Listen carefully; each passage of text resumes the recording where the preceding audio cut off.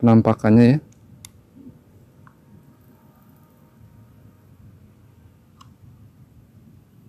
Semakin mantap ya jalan tol Bojimi seksi 2 ini.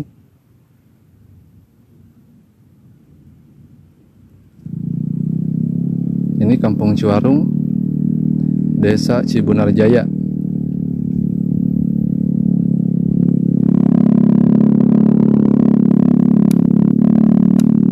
seperti ini kondisi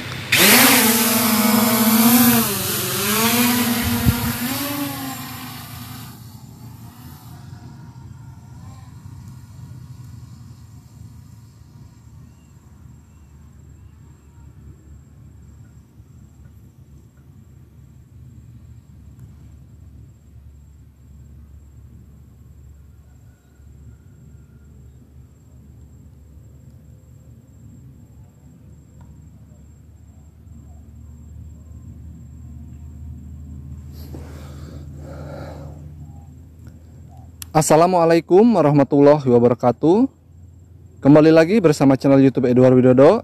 Hari ini Rabu tanggal 14 Desember tahun 2022 Channel youtube Edward Widodo kembali hadir mengudara Untuk berbagi informasi seputar perkembangan pembangunan Jalan Tol Bocimi Seksi 2 Dan hari ini channel youtube Edward Widodo berada di sekitar Desa Cibunar Jaya, Kecamatan Ciambar, Kabupaten Sukabumi. Dan terlihat ini merupakan jembatan yang berada di sekitar desa Cibunar Jaya ya. Nah, ini adalah jembatan penghubung wilayah Kecamatan Ciambar dan e, wilayah Cicurug ya. Untuk lurus ke depan sana, ini menuju ke Cicurug, maaf ke Parung Kuda ya. Sedangkan sebaliknya ini menuju ke wilayah Ciambar ya. Nah, yang di bawah ini. Ini menuju ke wilayah Ciambar.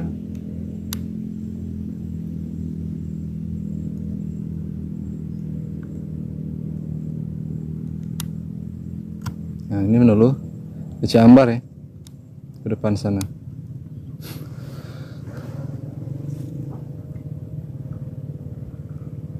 Oke, dan sekarang kita akan melihat kondisi di sekitar area Kampung Pasir Kerak ya.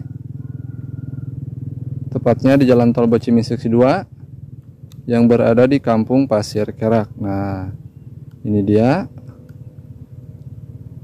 Jalan Tol Bocimi Seksi 2 yang berada di Kampung Pasir Kerak terlihat petunjuk arah ataupun papan petunjuk arah sudah terpasang ya di area Kampung Pasir Kerak ini dan lurus ke depan sana itu menuju ke arah Sukabumi maupun ke area uh, exit tol ya. Nah, terlihat di sini sudah ada papan petunjuk arah. Dan tadi pas saya lewat di depan juga sudah mulai terpasang ya, tepatnya di area Kampung Ciwarung. Kalau ini kan di Kampung Pasir Kerak. Nah, ada lagi uh, area pemasangan papan petunjuk arah tepat berada di Kampung Pasir Kerak. Sedangkan untuk akses nah yang di kanan di bawah sebelah kanan sudah ditutup ya. Jadi seperti inilah kondisi Jalan Tol Bocimi Seksi 2 yang berada di sekitar Kampung Pasir Kerak ya. Desa Cibunar Jaya, Kecamatan Ciambar, Kabupaten Sukabumi, ini lurus ke depan sana menuju ke arah Bogor maupun ke arah Jakarta. Terlihat di lokasi ini rambu-rambu sudah banyak yang terpasang. Nah lurus ke depan sana ya. Menuju ke arah Bogor maupun ke arah Jakarta. Dan terlihat di bawah sudah terpasang rambu-rambu ya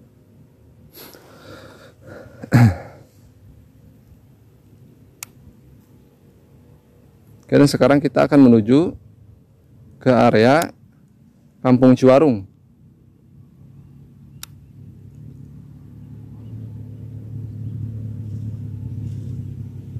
Masih sama berada di Desa Cibunar Jaya ya. Tepatnya ke depan sana.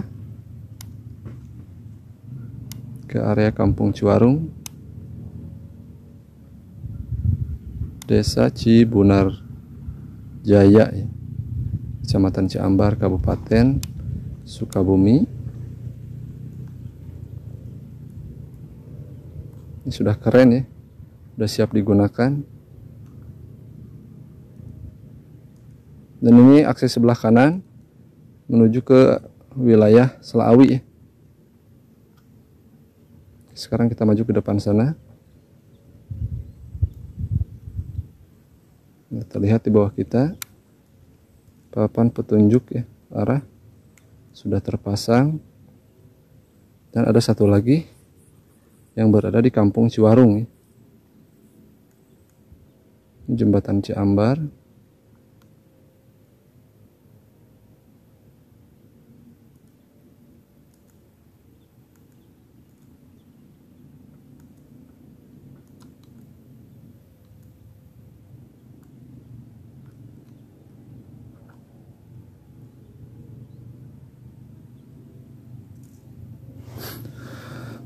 Nah, lurus ke depan sana ya. Nah, terlihat di depan ini sudah ada lagi papan petunjuk arah ya. Oke, sambil menonton bagi sobat YouTube yang baru bergabung ataupun yang baru menemukan channel YouTube Edward Widodo, alangkah baiknya dukung terus channel YouTube Edward Widodo dengan cara klik tombol like, comment, subscribe dan aktifkan juga tombol loncengnya agar sobat YouTube semua selalu mendapatkan berita dan informasi seputar perkembangan pembangunan Jalan Tol Bocimi Seksi 2 dari channel YouTube Edward Widodo. Insya Allah channel YouTube Edward Widodo akan setiap hari berbagi informasi seputar perkembangan pembangunan Jalan Tol Bocimi Seksi 2. Nah seperti ini papan petunjuk arah yang berada di sekitar Kampung Pasir Kerak ya. Dan ini arah ke depan sana menuju ke arah Simpang Susun maupun ke area exit Bocimi 2 Parungkuda. Coba kita dekati lagi.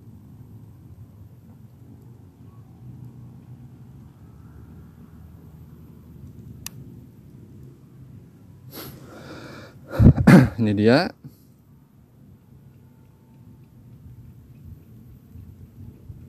Nah terlihat ya di bawah. Sudah mulai dipasang lagi. Papan petunjuk arah ya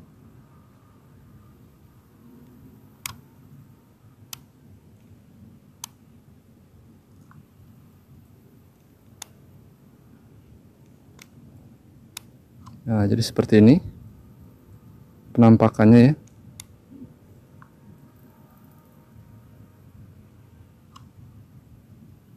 Semakin mantap ya jalan tol Bojimi seksi 2 ini.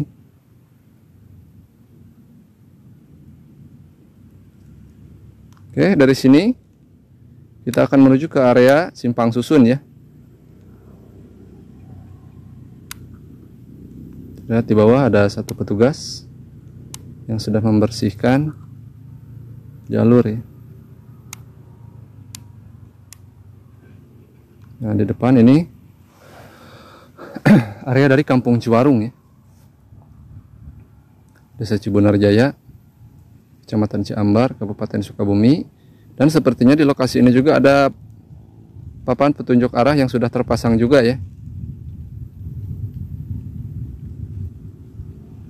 coba kita rendahkan drone.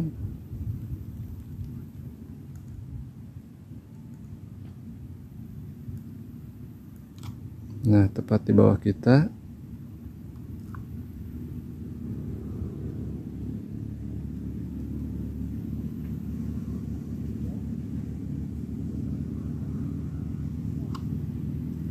Di sini juga ada papan petunjuk arah ya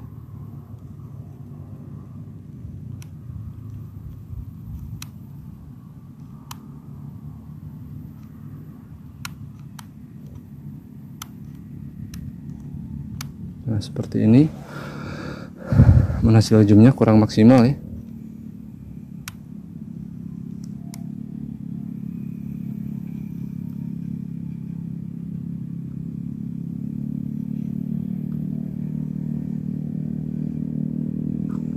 Oke, ini sekarang kita maju lagi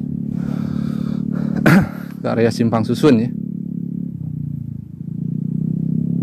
Ini kampung Ciwarung Desa Cibunar Jaya.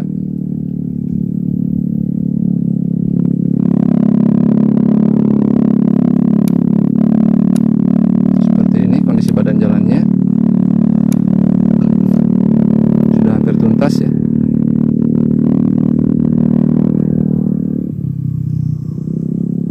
Nanti insya Allah setelah tayangan ini kita akan meliput di sekitar area jembatan exit Bocimi 2 Parungkuda ya. Oke, sebagai informasi di sini ada empat jalur ya. Untuk jalur yang sebelah kiri ini dari arah Bogor yang keluar menuju exit Bocimi 2 Parungkuda. Sedangkan untuk jalur kedua yang berada di tengah ini dari arah Bogor menuju Sukabumi maupun sebaliknya dan di jalur yang terakhir itu dari Parung Kuda yang masuk ke area Tol Bocimi seksi 1, 2 dan 1 ya. Tepatnya ke arah Bogor maupun ke arah Jakarta. Oke, nanti kita akan melihat perkembangan di sekitar area ujung jembatan exit Bocimi 2 Parung Kuda sampai ke area simpang susun ini ya. Nanti di tayangan Eh, berikutnya. Sekarang kita akan kembali lagi untuk melihat main road ataupun jalan utama tol Bocimi seksi 2 yang berada di Desa Cibunar Jaya ya. Tepatnya ini berada di Kampung Ciwarung, Desa Cibunar Jaya. Di lokasi ini sedang uh, dilakukan proses pengecoran ataupun persiapan pembetonan pembatas ya yang berada di tengah. Ini terlihat persiapan masih terus dilakukan Sedangkan untuk saluran maupun drainase sudah hampir tuntas ya di area Kampung Ciwarung. Seperti inilah update di sekitar area Kampung Ciwarung, kemudian area Simpang Susun. Nah ini akses yang masih dibuka ya. Ini mungkin untuk akses para pekerja yang berada di Kampung Ciwarung, sedangkan beberapa akses eh, seperti di Kampung Pasir Kerak itu sudah ditutup, kemudian di Kampung Cijawa sudah ditutup ya. Hanya tinggal di sini. Dan di bawahnya itu adalah jembatan Kampung Ciwarung ya. Ke depan sana menuju ke arah Parung Kuda ini jadi lokasi inilah yang sudah terpasang. Papan petunjuk arah ya. Ini yang satu dekat jembatan Kampung Ciwarung.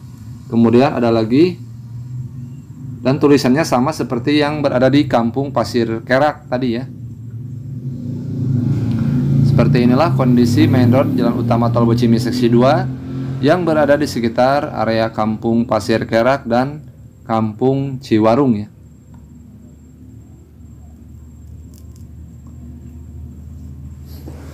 Insya Allah nanti saya akan buatkan video jalan alternatif ya mulai dari Cicurug nantinya akan keluar di Nagrak uh, khusus mobil kecil ya tidak diperuntukkan untuk mobil besar karena banyak sekali yang request ingin dibuatkan video uh, jalur alternatifnya. Insya Allah nanti saya akan buatkan.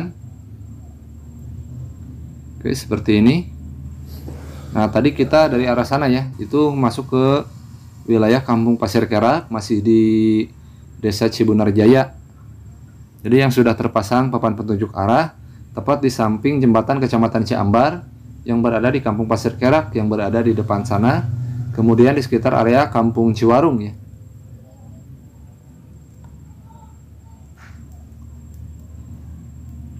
Namun sekarang ada kendala ya. Ketika sobat YouTube nanti menggunakan jalan tol Bocimi seksi 2 ini, mudah-mudahan bisa dilewati pada libur Natal dan Tahun Baru. Namun terhambat di sekitar area jembatan Pemurian Cibadak yang pada tanggal 13 Desember terjadi longsoran. Oke, mungkin saya cukupkan sampai di sini dulu. Akhir kata, wabillahi taufiq wal hidayah. Wassalamualaikum warahmatullahi wabarakatuh.